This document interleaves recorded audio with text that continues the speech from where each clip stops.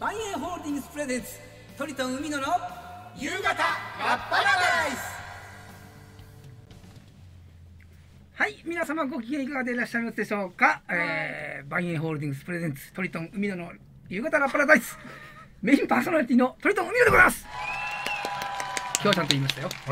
よかった。はい、えー、パートナーの永井瑠璃です。ナレーターです。はい、同じく各種パートナーの劇団ピーカブーボーでございます。はい、おい。ね、本日はね、えーはい。ゲストをお呼びしておりませんでこの3人ではい。進めていきたいと思います、おい、よろしく。よろしくお願いします。ねあのーはい、なんで真ん中じゃないのかってさっきちょっとなったんですけど、はいはいはいいつもここに座ってっから、うんい居心地いいのよここ。立ち位置のあの居心地の良さね、そう大事なやつ、はい、うん、だからでルリ真ん中の方が絵面もいいでしょ。そうですねね。。みんな私が見たいんだろうし。はい。えいいじゃんいいいいじゃんね。はい、あったかいですね。あったかいあったかい。昨日昨日もあったかかったんだあっけ？ったかかったですね。ねあの昨日雨だわ。そうだ俺ねごめんぜ全然出てないんだよね 外にね。うん。あ昨日はね昨日はねあれだあ秋秋葉にオタマトーン買いに行った。おたま、おあー何？何おたまおたまオタマトーンってあの明和電機のそう。明和気。電機がまずわかんないもんね。あそっ。かおたまじゃくしみたいなあの楽器、楽器？電子楽器。まあおもちゃ楽器だね。いわゆるあの指をこうスライドさせることによってあの電気が流れててその電気をの回路が指指で止めてうん。下の方だと短いから高い音上だとこう長いから低い音っていう原理でもってあの音を変えることができるんですね。なんで今日持ってないんですか？あ今度持ってくるわ。なんで今日ラッパーあ出てきなんですか？た出てきた出た出た出た。出た。出てきた。指先え、あんな可愛い、あ、あ、音符の形？そうそうそう。あーなるほど。いろんいろんな種類があるんだよ。オタマトーンのその最初はちょっとちこれはまたあちっちゃいのがあるちちっちゃいのもあるし、そんな可愛いんだ。デラックスとか、はいはい。で僕が買ったのはそうあれこれああのつなげるやつ。オタマトーンテクノっつってへー。あのスマホにつなげるとね音色を変えることができたりとか。でピッチが甘いんですよ。すごい甘いのね。うん。でこれをピッチを揃えるあのあれもあるの。あのアプリもあるんでね。へえ、そうなんだ。ちなみに今日僕ここに出てくる前家ではい。オタマトーン弾いてるのをはい。動画上げてますんでうん。私のフェイスブックのお友達は見ることができます。なんで今日持ってきて吹いてくれないんだよ。服っていうかひき昨日買って今日だからさうん。半日しか練習してないのまだ完成してない。ただあの僕のフェイスブックのお友達見てもらえばわかりますけどびっくりするぐらいうまいですよ俺。これはお友達に対してのラジオなのかよ。ごめんごめんごめんごめん ということでね、ええ。ー日曜日はね、はい。パレンバンデーでしたけども。まだその話言うの？どなどこだっけ ネパール。インドネシア。インドネシア。はい、あれオランダから解放されたんです。インドネシアにはねあそこにはあのー伝説があって空から、はい。あのーなんだろう助けるために自分たちを助けるために、はい。あの神様というか降りてくるっていう伝説があったんだよ。それで前へ降りてくるその空の神兵たちを見て「あ伝説通りだ!」って言ったんだね。あすいません。ルリーが機嫌が悪くなるので足。今日はこれにしときます。余裕が悪いわよ。あのね、だからなんで、なんかピンとこないかっていうと、なんかやっぱ時代の教育なんですよね。私たちの時代の教育と、多分じ時代がね、そうですね。なんか教わってることが違うから、うんその歴史解釈が、うん。ちょっといまいちピンとこないなっていう、うん。そういう話かも。かもだけど、まあ、基本的にあれはあのいわゆる新中君がやった「棒切り」というインフォメーションプログラムというやつなんだよね。やめとくか。長くなりそうですね。そうですね。そうね。はい。ということで。はい。そということで桜が咲き早咲きの桜が咲きはいあなんでどこどこ？か川あ河津桜ねはい河津桜はまあ早いですからもう見ねてきたんですか？あもううちの近所もバンバン咲いてますよ。近所に咲いてる。ええ。あそう。すごい。はい。日当たりがいいところね。そうなんですか？あとは亀戸天神さんはあはいはい。れですよね、もう梅が見頃じゃないですかね？あそろそろね。そろそろね。菅原観光ね。菅原の三種港ですね。そうですそうですそうです。こち深場思い起こせよ梅の花。主なしとせ春の忘れそうってやつだなそこまでは僕知らないですね そんな詳しくなかったけど。僕うん、はもう花より団子で梅がえみ餅がん食べたくてな知ってんじゃねえのこれ。まあ聞いたことはあるくらいかな。飛び梅の伝説ですよ、バカなね、もんでね。まあ梅学がないもので。梅が飛んでくるわけないんですけど。ねまあいいん。ですけど。まあこうやってねだんだん暖かくなっていってそうですね。三巻四音でございますからね、はい、あええ。ちなみに三寒四温ってどういう意味で捉えてる？え？地雷踏んだか。三日寒くて四日暖かい的な感じああそうみんなそう思って違うんですよあのね寒い日がはい。3日も続けばはい。4日目には暖かくなるだろうって意味なの、えー。本来は。本来は。本来はね。だだけどみ今うん。君が言ったような捉え方してる人がほとんどだけどね。はあ。のこういう故事とかあの物あれとかはやっぱり間違って覚えてる人すごく多いね。うん確かにね。あのね煮詰まるってあるじゃん。煮詰まる、煮詰まるはいはい。はいはいもうなんていうの？にこうぐ今煮詰まってなかなかアイデアが出ないとかそういうことですか？それが逆なの。煮詰まるというのはもう会議も煮詰まってきたのでそろそろ結果が出る。物事がもうすぐあの結果が出るっていうのでを煮詰まるというああいい方向に本向かうよっ当はいい方ていうことそうそうそういい方向というかそうもう物事が解決に向かいそうだといううん。いい意味のポジティブな言葉なんですが結構ネガティブに使っちゃってる。使っちゃってるよね。使っちゃってる、まあ難しいそうですね。あのあれなんだよ。でも言葉って怖くてさそうやってね間違って使ってる人が多くなってくるとうん。それが本来になっちゃうんだよね、そうですね、うん。そういうふうにねあの変わった言葉いっぱいあります、でもまあ言葉ってそうやって時代で変わっていくものですからね、でも俺はね、まあ、そう言うけどね なんか違うような気がするんだよあのねえ江戸っ子っていうのはねはい。あのこそうか海野さん江戸っ子だからね。まあ宮崎の生まれなんだけど。そうですね。江戸っ子ってのは言葉をひっくり返して言葉言葉遊びをしてたの。あのはいはい。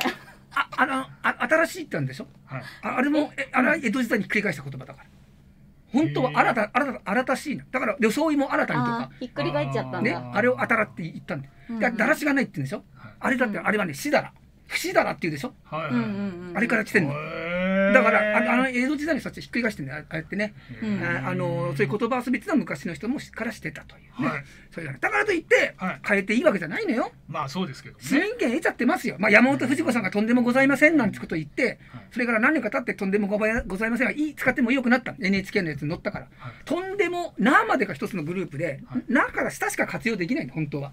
さあじゃあねお便り来てますのではいはい紹介しようかなと思ったけどどうしますか？その前にスポンサーに行きたいですまずはスポンサー様をちゃんとやってからいきましょうじゃかあ先にそうしますか、はい。今日は、えーはい。この番組が放送できますのも、えースポンサー様のおかげでございます。はい。はい、ありがとうございます。ご紹介させていただきます。この番組は地球環境に配慮した次世代のロジスティックサービスのご提供を目指す万栄ホールディングス株式会社の提供でお送りいたします。今日もありがとうございます。す。みません。えっ、とテイク2お願いします。もう一回出してください何ですか？安全で良質なのが抜けてる。あ、そうか、今日読んでなかったな。うん。あこれをこれまでお願いします。はい、もう一回お願いします。じゃあそこを読もうかな。はい。えーこの番組は地球環境に配慮した安全で良質な次世代のロジスティックサービスのご提供を目指す万栄ホールディングス株式会社の提供でお送りいたします。はいいつもありがとうございます。はい。今日も頑張ってやっていきたいと思います、はい。よろしくお願いします、はいさっきからねこのね万栄のねあれがこれラッパで隠れるんでね。それでそれでラッパいじってたそうそうそうそうそうじゃあラッパ下に置いちゃった方がいいんじゃない？いやいやいやこれは一応一応ほらねトレードマークですから。そうですけどラッパラダイスですから、はい、ここに持ってくるためだけに持ってきてるんですから、ね本当ですよ。そうでしたかはい。はい、お便り。嬉しいねお便り。はい。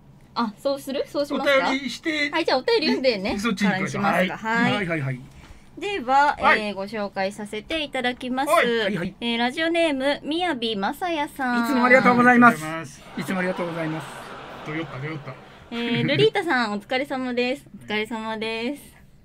寒い日が続きますが、お元気でしょうか？ついでにトリトンさんとボーさんもこんにちはつ。いでかい先週の放送でルリータさんから厳しい言葉をかけていただき、この1週間キリッと引き締まった気持ちで過ごすことができました。本当にありがとうございます。ですがえー自分からルリータさんが厳しく叱ってくださいとお願いしたもののいざ実際に叱られてみるとへこんでしまい 少々落ち込んでしまいました。ルリータさん本当にわがままなお願いではありますが今一度と言ってやっていただけませんか？というお便りです、ね。は追伸番組オリジナルシールいりません。だかあ、来らるっつってんだよ。あげますよ今度はお会いした時にでももう。だってあれルリがサインしたのがちょっと僕ストック持ってますから。はい。メガネに貼ってやろう。あそうだ。メガネに貼ってやれ。はい。ではリクエストのねセリフいきたいと思います、はい。みやびくん、この間はちょっと言い過ぎたかも。ごめん。みやびのこと、本当は、大好きだよ。ということです。またお便りください。はい。出れたわけだね。出れた。ツンツンからの出るのね。これ、この応酬いつまで続くんだろうね。来週ツンかな来週じゃねえか次は。次は。まあいいんじゃないですかね。こうやってあのこうやってね定期的にいただける。来てくれる方がねありがたいですからね、えーはい。えーっとねもう一か？個来ています。はいはいはい。えどうしよう。これ読みますか？これ行くか？まあまあこれ読む？まあ行こうか。行ってみまさっき来たはい。難しいお便りです。はい。ラジオネームナナ立花さん、はい。今日はマルディグラのファットチューズデーですね、うん。マルディグラといえば、うん。リオのカーニバルとうん。ニューオリンズのお祭りがおなじみということで、え今日は例年通りはいケイジャン料理のジャンバラヤでもスーパーで買ってきてー食べようと思います、えしかし他にやることがありません、ーはい。海外のお祭りを日本の片隅で一人でもっと楽しむにはどうしたらいいでしょうか、うんというお便りです一人でもっと。ん難しいよこのお便り。なんかとりあえず日本語に聞こえなかった。とりあえず鼻眼鏡してこうやってこうやってじーってこうやって眼鏡眉毛をこう動かせば楽しめるんじゃない？どういうこと？ニューオリンズのおなじみのやつなんですか？知らんよくわかんない。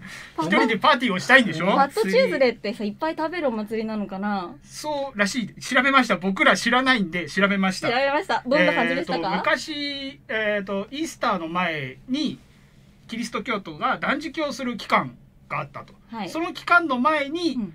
食べるのがファットチューズデー食いだめその明日の水曜日からその断食が始まって46日間か何日間かあるんだって、でその前に、うん。あの栄養を蓄えるためにこうめちゃめちゃカロリー高いやつを食べてはあはその断食46日間を乗り越えようってあいうのがね、うん期限らしいです、あーで今は多分断食はしてないと思うので、うんうんうん。ただただ美味しいものいっぱい食べようぜ今日は。なるほどイエーイっていう日。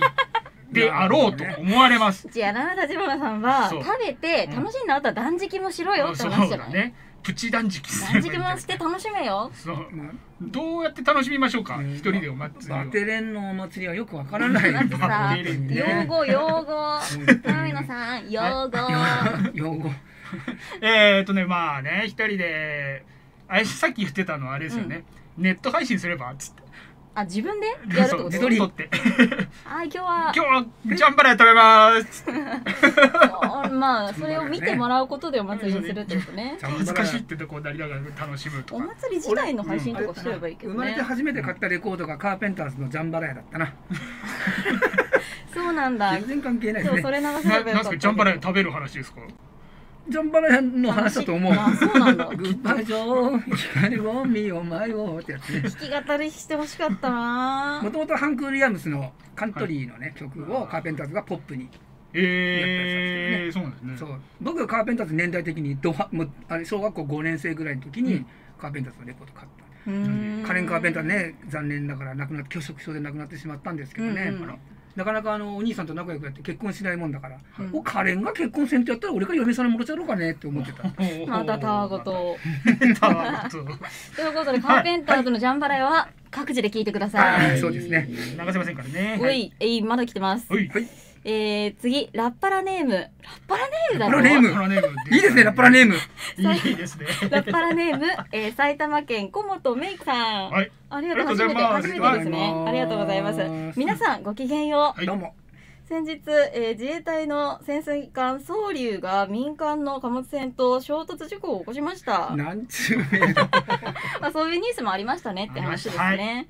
えーそこで元自衛官のお二人がご存知で、世間的には知られていないやっちゃった案件あれば教えてください。これあの先週のゲストが元自衛官だったんでそうですね、えーお二人になってる先週のお話。先週いただいたやつですね、えまああのーありますか？ねまあ物が動いてればまあ、事故は、おまあ、何があったか原因もわからないので、これ、まあの、総理に関してはちょっとノーコメントでお願いいたします。うんうん。えー、やっちゃったやっちゃった案件ありますか？僕ですか、はやっちゃったあのねい、はいあれ、あのー富士登山駅伝っていうのを毎年夏やるですよ。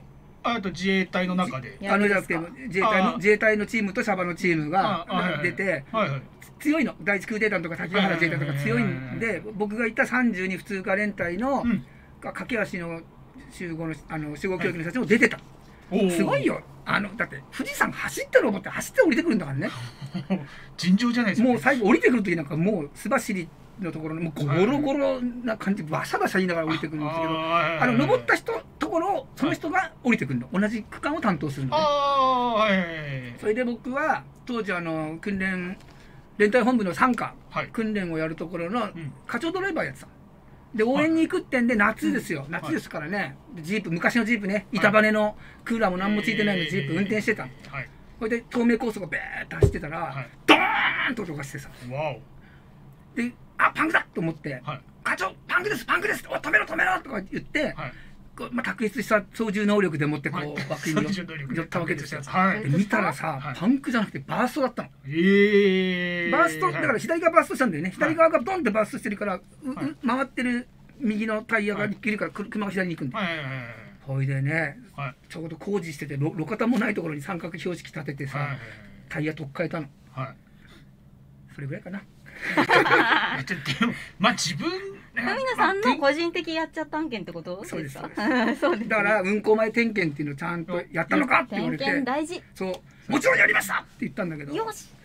空気圧はやってなかったかもしれない。やってねえじゃないか、点検はちゃんといたしましょう。まあここだけの話ですね。はい。ええ。やっちゃやっちゃいましたね。はい。あとボーさん、はい。コメントツイッターのコメント来てますよ、はい。ボーくん今日はキリッとしてていいですね。似合います。って。本当になんかあのあれだね。はい。酒蔵の人みたいなね。ええ今日はそれをイメージします酒蔵の営業。ねもうなんかこのままみこつれで働けんじゃねえい。いるよねこういう人ね。みこつる。さあ一条に、い。るよね。みこつるですからね。図じゃないですからね。濁るなよ。はい。だ濁音つけないようにね。はい気をつけます。はい はいありがとうございます。はい、はいそういうわけで番組のメアド紹介いきましょうか。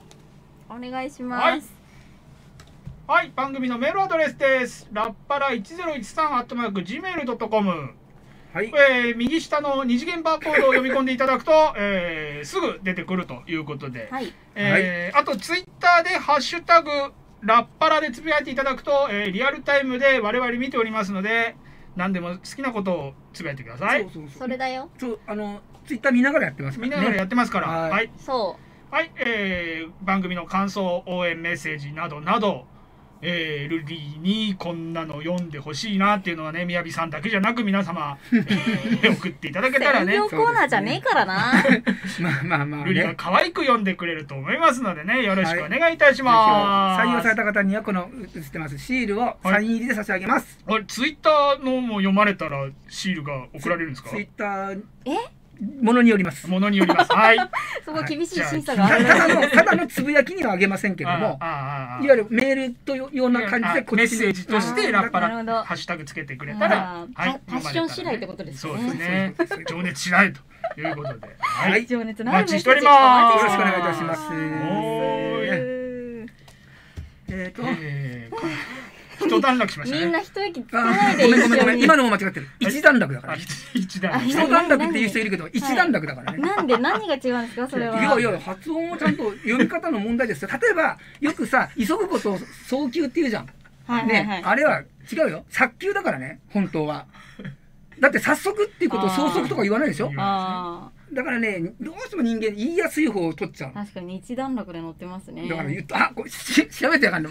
疑ってやがんな。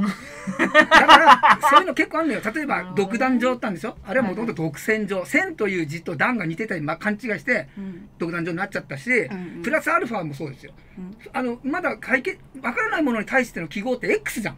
はい。ね？はい。あの X って書いた X をこっちが書いた人が下手だったんじゃないのよ。くくくっついちゃったんだね。あ。で X をアルファと読み違えたんで今プラスアルファという言葉がもう広まってしまっている。だからねもうそういう勘違いだなんだっていうのは結構あるんですよ。そこから派生したものはね。へはい。えなるほど。僕はちょっと復習しないと忘れちゃう。あのねこれごめん言わせて。はい。あの最後にテストとかしてほしい。いやじゃあ違う違う違う違う。違うあの何何？なんだっけ？三本締めってあるじゃん。あはいはいはいはい。三本締め。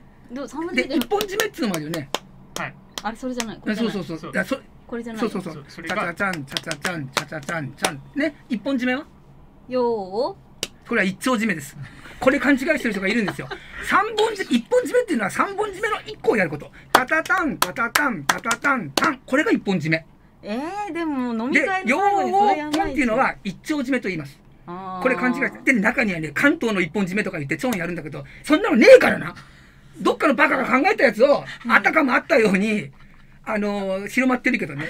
あのい三本一本締めと一丁締めを間違わないようにしましょう、はい。特にね東京とかでお住まいの方江戸っ子の方じゃじゃなんかはねじゃじゃじゃ海野さんはそれを間違ってるっていう現場を目撃したら間違ってますよって言うんですか状況によるあのー、なんだろう明らかに間違ってる明らかに間違ってるのをそこの場で注意することがここしといた方がいいって思った時はするけど基本的には例えばねこの間フェイスブックで はい。あの昔の曲のこと考えててはい。あのー、なんだっけ歌詞の名前を間違えてたの。はい。だ誰なんとかのなんとかって曲って言って誰かが紹介してる間違って紹それで介してたそれに鼻の穴膨らましてさ、うん。そのいわゆるなんていうの？はい。返すやつでさはいはいはい。あれで「それ違うでしょ」って書くバカもいるけどあ俺は違う、はい。俺は裏ではい。め直接メッセージで「あの歌詞名はこうじゃないですか」っていうふうに三橋道也と春日八郎を間違えてたんだよ。え違う人の名前にしだからてたんで三橋すね道也のなんとかとあ乙女さんだ。乙女さん三橋道也の乙女さんがって書いてあったから裏で「乙女さんは春日八郎ではないですか」っていうふうに。ここうね。そうそうそう。普通そうするんだけどなんか中にはいいんじゃん。なんか鬼の首取ったようなさ。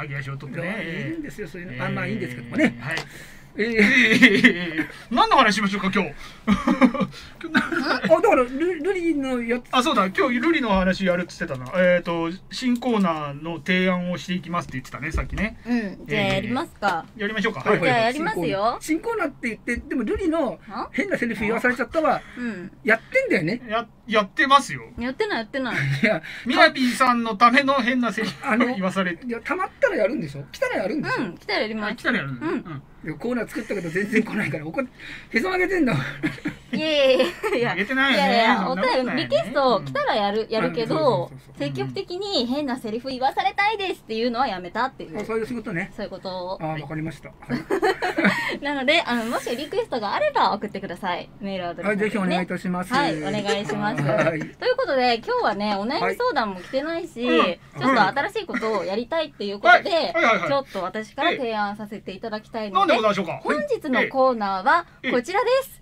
永井瑠璃の新コーナーのすすめ。イエーイ。入ったよかった入ったよかった。よかったということで。はい。新コーナーのすすめ。ですね、はいえーまた新しいコーナーをでっち上げましたけれども、お おすすめしていくんですね。仕上げっていうのはちょっえー、とこの番組はね、うん。えー、と10月に始まって、ええ。もうすぐ半年というところじゃないですか。そうね。もうす回数ぐ今日18回目ぐらいだっ10け何回目なんですか？そそんなもんだよね。18ですかね18回目です。あ、はい。王さんといえば番組回数を数えているでおなじみ。夜な夜なね今日は1回明日は2回っつってね。うんうん数えてますよ。なんじゃそりゃ。あほかというところでね、はい。今日もう2月だし2月ってさ、なんとなく決算の会社多いじゃないですか。なんか、総決算的なこの番組もね感じかなと。決算しようって。もうすんの？決算。うん、そう。一回決算し一回計算しする。10月に始まったばっかりだけどそうですね。一回ね。棚卸ししてそうそうそう。計算していこうか。決算していこうっていうことで、はい。私も考えたわけです。おといはいはいはい。はいうことでですね、あの海野さんがうん自衛隊のことを教えてくれる。私たちが自衛隊について学んでいこうっていうコーナーを始めたらどうなんだっていうふうに思ったんですよ。それなぜかっていうと、で先週とかもうん。ちらっとね、はい。言ったじゃないですか。なんかちらっと言ったんだけどなんか海野さんねちょっと自衛隊の話したら自衛隊の知識とかなんかあそうそう、自衛隊の話したら、うん。私が怒るじゃないって言ったの。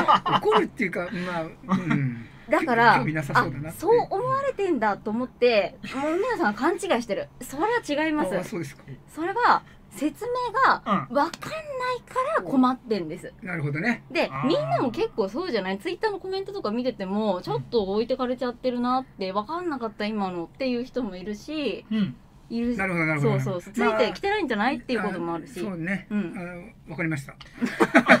じゃああのーはい。まあまあ基本的なことだよねあのいわゆるなな内んうんうん内部のことじゃなくてうん。はい。基本的なことね。毎週やる？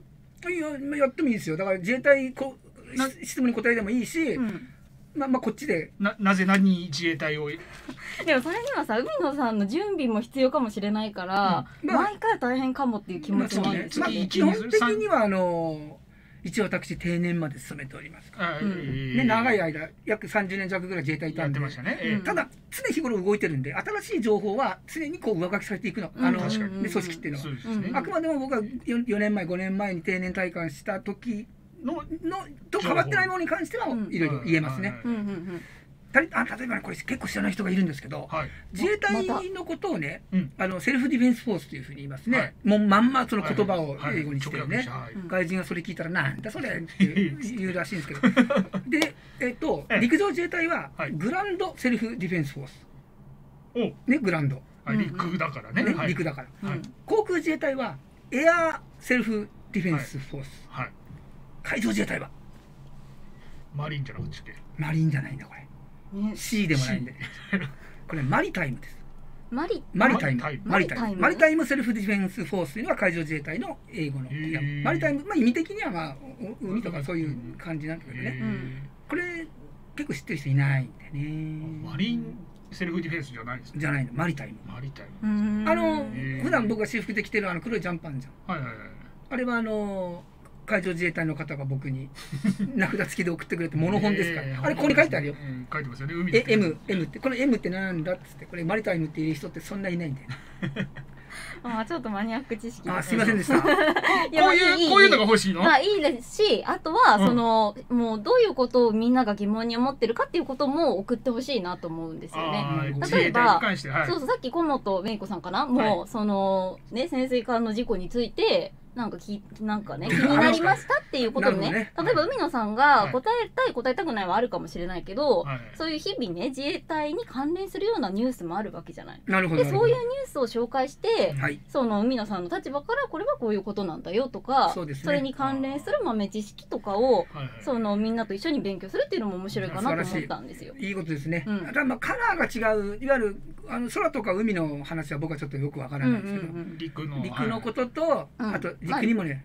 同じ陸上自衛隊と同じような格好してても職種がいっぱいあるんだよ。うん。うんだからその 多職種の詳しいこともうん。あるからね、でも私だって昨日自衛隊のホームページのその自衛隊とはみたいな漫画をいっぱい読みました。いいね。そんな漫画がホームページに？そうそうホームページにその紹介みたいな感じでその子供とかこれから自衛官目指したいって思っているうん。青少年たちにも分かりやすいようにはい。自衛隊って何？っていうところからいいことですよ。何の仕事をしてるの？っていうことを分かりやすくはい。紹介してる漫画を読んではい。最近やっと分かってきたんですよ。やっと分かってきたありがとうございます。海野さんの話聞いてるだけじゃ分かんないからさ。そうね。だからはい。みんなも分かんなかったら積極的に質問してほしいよっていうことですよ。そうですね。そうそう。質問していただければあそう。のちょカラーが違ってもいいですよ。空でも愛でも。うんうん。僕はちゃんと調べてからごお答えします。あそうだね、はいはい当日に送られてきてもそこあにのそそそこで答えられるものとビトンとね。ねいけるかいけない。ものがありますんで、はい。ちょっと調べて、あのえなんで海野さんはね今ね54歳今は55歳1年上がったんだけど定年が。うん。あなのに僕の知ってるおじさんは60歳までいたんですけどみたいな人もいる。あいいですね。そういうのは職種によって違うとか階級によっても若干違うとかい。ろいろあるんで、はい。うんうん。そういうのもまあ面白いっちゃ面白いでしょ。また一応あのね私あの台東区の入隊あ募集相談員でございますんで、うんうん。えーそういうことはき親切丁寧にねおおお答えいたしますよ。ありがとうございますね そうですね。はいっていうことでで私が最近でも知りたいからはい知りたいんですよ。で分かんないけど、うんせっかく知らない知識をのね知らない世界のこと知ってる人がいるんだから、はい。私だってその知識をものにしたいと思ってるわけなんですよ。素晴ら。しいね。だって世界が広がるわけじゃないそれって。もう吸収力そうそう、ね私もそうだし聞いてるみんなもそうだから。え今日今日の打ち上げちょっとルリの分俺出すわ。ごちそうさまです。え何をここでおべっかすると打ち上げ代がタダになるいやいやこれ嬉しいじゃないよ。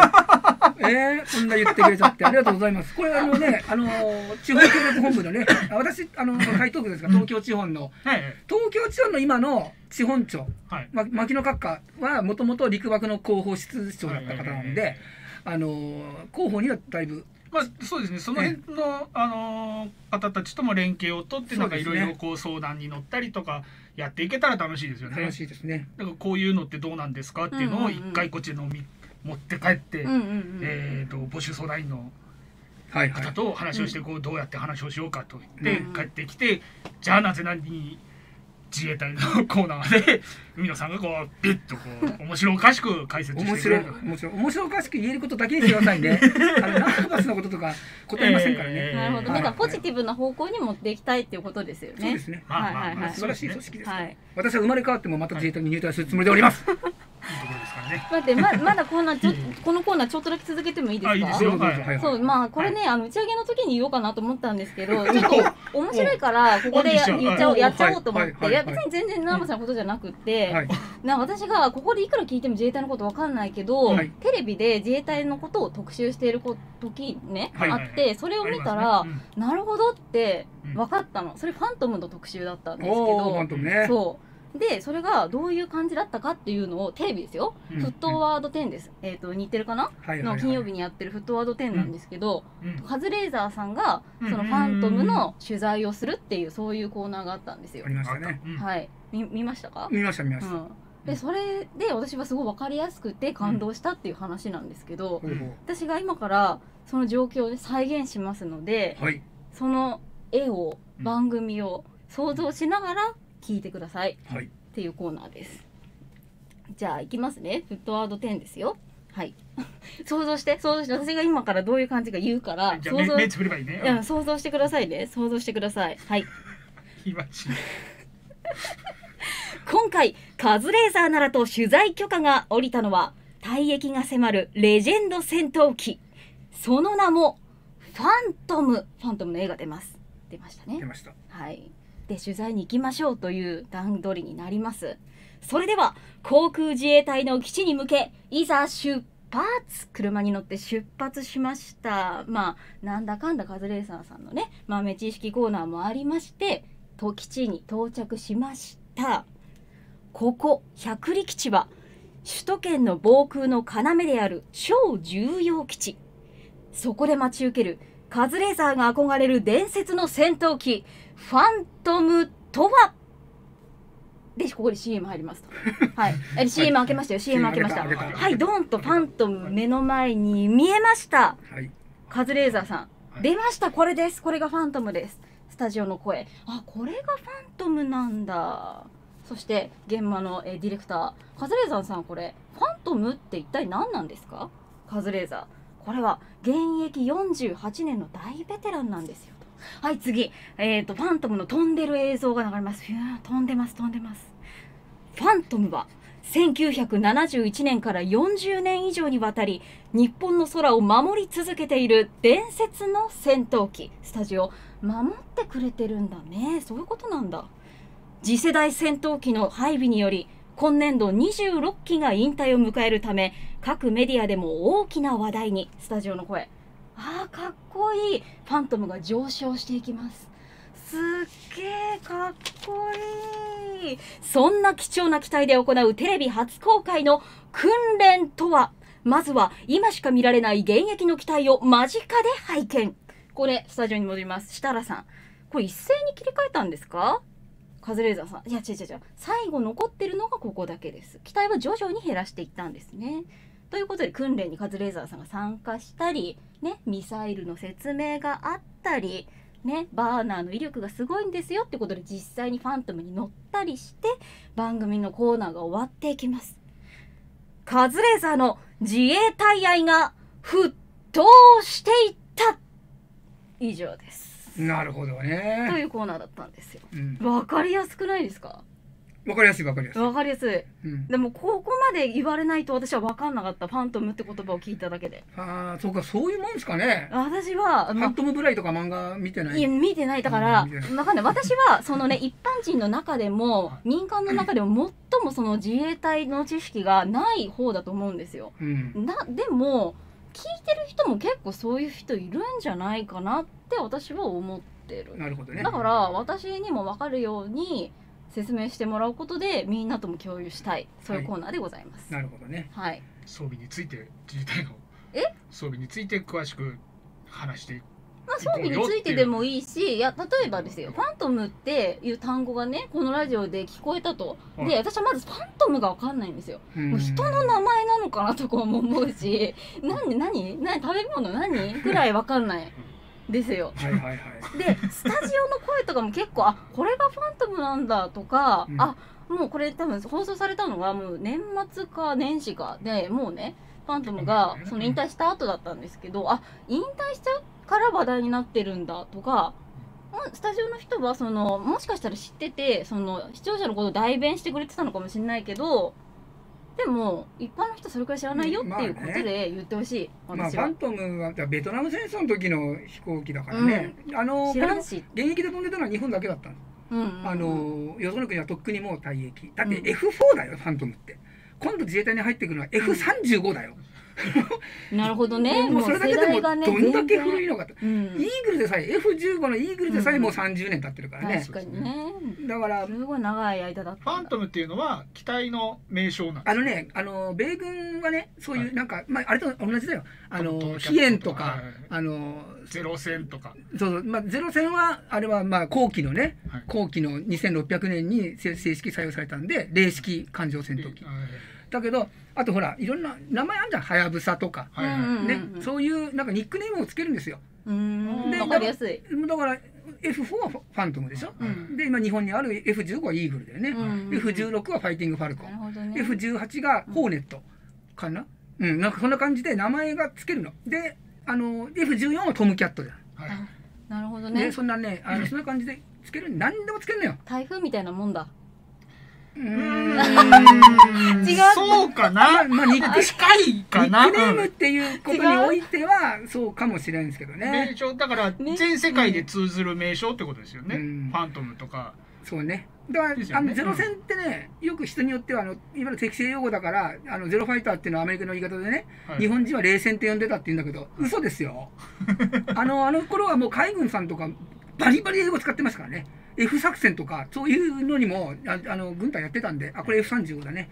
これが一番新しい。ですね、ええ。一番ただねはい。おこれ F35 じゃねえんだ。ほんいや F35 いいんだけど、はい。本当はこの前のはい。えっ、とこれはなんだっけこの前のララプターっていうのがあるんだよ。F, F ラプター？ラプターっていう22 F22 か。ラフタあれが欲しかったの本当は。ええ世界で一番今今現在多分一番強い戦闘機はラプターだと思うよ。F22 だと思うよ。で日本が欲しかったの。そうでもあれはアメリカあまりにもすごい戦闘機なので、うん。あのー出さないの。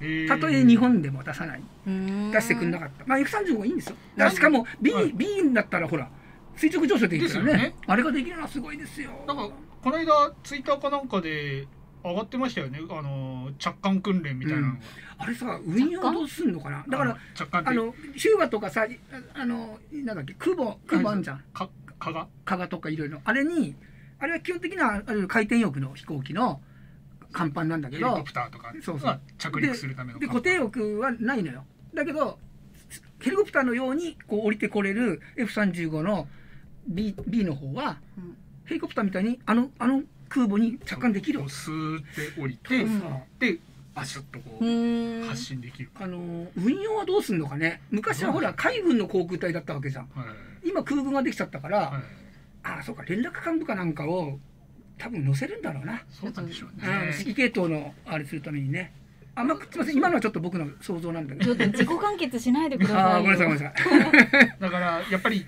部署が違うから海上自衛隊とうん。航空自衛隊の部署が違うから、じゃあ、はい。着どの着艦するとかどうする、ね連絡担当を、うん。じゃあ一人航空自衛官が船に乗ってるんじゃないの、っていう話ですね。そうだからカラーが違うか。ら例えばそのあのー F35 のパイロットがはい。うん。海海上自衛隊の上官の命令であ出撃できるのかって話よ。あー。まあ、そんなこと言ったらね陸上自衛隊の落下傘部隊だって航空自衛隊の輸送機が飛び降りるわけだけどその、まあ、そういうだからカラーが違う運用っていうのは難しいんだよね。まあ、緊急発進だったらそれは OK なんじゃないですかね。んまあ、まあちょっとその辺は想像でしかないので、はい、その辺はちょっと調べてみます。そうですはいはい難しいなそういう話を今度募集相談員として、簡単にね簡単にね。そうね、今のでも割と難しかった。頭も頭も悪いんですよ。待って、頭も悪い。やや頭悪くないですあたまあ頭悪いんじゃなかったら話が難しいあんじゃない？のどどんな、はいどんな組織にでもその組織の人間にだけ分かることってあるじゃん、うん不調なんかもそうじゃん、うん。あ話はちょっと飛ぶんだけど不調で思い出したんだけどさはい。寿司屋とか行って、はい。ねあの上がりとか紫とかってかっこ悪いから言わない方がいいですよ。あれはお寿司屋さんがお寿司屋さん同士で使うことで客が使ったらすっごいかっこ悪いんだから。あお愛想とかそうですよね。お愛想とか。そうあれだってそのあの客が言うセリフじゃないあ、確かにね。ね、だからそういうね本当の粋なのは何かっていうことをねはいあ全然関係なかった自衛隊とは。まあ粋なのは何かもね、はい。それあっても一つね、いいと思いますよ。ね、自衛隊あの、うん。まあ、灰皿のことを円環って言うんですよ。煙の環って書いてね、うん。まあ、そんな話とかね。ええええ。うん。ありあの今ツイッターではいい。ーちゃんさんから陸上自衛隊も金曜日はカレーなのかな。あそうそうそうそう。あの真似してんのもともと、あの金曜日のカレーというのはあの船に乗ってる人が曜日の感覚を失わないようにはい。っていうことですよ。大体ね駐屯地の食事ってね、はい。金曜日カレーですよ。金曜日はカレーです。これ絶対じゃないんですよ。絶対じゃないんですけど。大体大体。で 大体僕カ辛いもんレーです。辛いもん食べると汗が止まらなくなる体質なんで。ああ食べなかった。でちなみにね駐屯地の食堂はでご飯が食べられるのは、うん。独身で中に住んでる人と特別勤務についてる人と、うん。その勤務内容にあって有料喫食の申請をした人だけですからね。結結婚して外から通ってる自衛官は自分のお弁当とか私物の食事とかをしてるんで購買で買ったパンとあそうそう。かですね。隊隊員食堂で飯いつも飯食ってるような感覚あるかもしれないけど、ないですから。なるほあどね。ーじゃあ申請して食べてるってことですね。まあ申請も受けてくれる時と受けてくれない時あるから、うん。大体経営とか当直とかねそういう特別勤務についた時は、うん。久しぶりの自衛隊の飯だぜなっつってるほど。誰でも行くと食べれるわけじゃ。はいカレーなんで回れ右して帰るっていうね。社食とは違うん僕だはあの僕ババスタオルがないとカレー食えないんですね。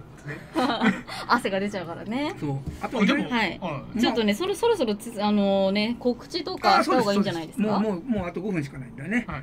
えっ、と今日はすみませんえっ、と都合によりましてえー 放送時間を5分巻きであのそうなんですよ。ー終わらせていただ4き分ぐらいで終わります。あ突然のそうですね。突然の魂の知らせが。えー理由についてはまたちょっとおいおいね、まあおいおい分かるでしょうっていう話ですね。そうです。はいえーじゃあ来週、ん？あ、違いますね。東京演芸協会の演芸協会のはい。はい。じゃあちょっと出していただけますか。20日の他流寄せ。から。はいはい。えーこれは毎週あ毎月20日にやっております他流寄せといいまして、えー東京演芸協会が主催なんでございますが、えーいろんな協会の方に出ていただきましてね、はえー猫ひろしさんとかはもうなんか大体でレギュラーではい。出ていただいてます。はいでねこれごめんなさいこれちょっとね、はいえっ、と前のやつでちょっと出演者の変更がありまして、はい。2番目の魔族さんですね。写真で言うと一番左の下から2番目の、はい。魔族さんちょっと都合によりああのら。出れなくなりましてえー来園で他の方が出られますのでちょっと、えーその辺はごしょご了承いただきたいと思います。で一番ほら右の下にね。あ、イケメンがいますね。イケメン。これはあれですからマルベル堂で撮ったんだから。浅草のね。浅草のマルベル堂 なるほどね。ブロマイドといえばマルベル堂ですよ。そうなんだまあまあいいんですけどはい そうなんはい、じゃだ。あ次。これは交番表、まあ見づらいんですけども、はい。えー、私、私のラッパが聞きたい方はですね、21日の日曜日、あ、そうだ。21しか聞けないんですよね。21の、はいじゃあ15時35分、はい。もしくは25日、25日。あ、25日も聞けるんですか？25日は12時40分。あ、ちょっと早め。うんこの日は僕ね、司会兼なんで、はい。あのがなりをあの袖でやってますんでね、あのーまあこの時ラップちょっと吹くかもしれないけどこの時新ネタ。あ、出た。新ネタいきますよ。昨日買ったやつかな。新しい楽器？あれが使えるかどうかわかんないんですけども。はい。はい。こでれは浅草東洋東洋館で館ですございます、はい。ああと何かあったっけ、来週のゲスト。あー浅草ライブだ。まだもう一つありますね。これは同じ東洋館でね前え、ま、偶数月にやってここれもいろんなあの演者さんが出ていただいてます。はい。えーっと私ねおと、はい。去年一昨年その前の浅草ライブ私年間チャンピオン優勝してるんですけどね、過去の栄光でございますけど。今年もチャンピオン目指してくださ俺いよ。ねこれね5分なのよ。あダメなんですか？俺5分尺ってできないもんあのそういうテレビサイズみたいな短い芸できないのよ。すいませんもうもう僕はもう寄せどね。寄せ芸人でそういうね短くまとめられないの。うん。あでも新ネタになったらいけるかもしれな。いね。昨日買った楽器でね。頑張ってみたいと思います。きっと5分はい。やっていただけでしょう。はい。はい。これで終わりかな？おんとあるかな？いやはい、終わりです終わりですね。以上ですね。はい。確かね風のやつはもう終わったやつだったんで、ね。あ、そうなんですね。はいということで来週のゲストえーはい来週のゲストはお二人。ドン。ああ、いい写真。これはね、ねえ。何年前だもえー、もう三四年前ですかね。うこれ同じね人に見えなくね？一番右これ菊池太ってる。デなブだね。あー確かに今の方が。そうその隣が先々週出ていただいた跡部さんですね。跡部で僕ですね。で一番左が増村さん。増村さん。はい。えじゃあ来週はこの4人で？この4人でやります。この4人であのスタジオギッチギチでお送りします。うんはい、うん。デブデブがいっぱい。僕以外みんなデブじゃねえかよ。三人デブですからね。でぎっちぎちです画角が。あの硫黄島に行行ったっ時の思い出話をねはい楽しく話ししたいと思います。おじさんたち4人で硫黄島の思い出話をはい。して、硫黄島のことを言おうと思います。はい皆さんで。おかしいね。硫黄島もね。皆さんで楽しんでください。はいプロの芸人らしからぬ流れで終わりましまいました。はいということで、えー本日はこれにて失礼をいたします。はいえー、やっぱりです。メインパーソナリティは鳥と海野。はい、そして真ん中にいますが、えー、と、アシスタントの永井瑠璃と、はい劇団ピーカブーボーでございましたはい、来週もよろしくお願いいたします。どうも、はいさよなら。また来週どうも5分早いけど。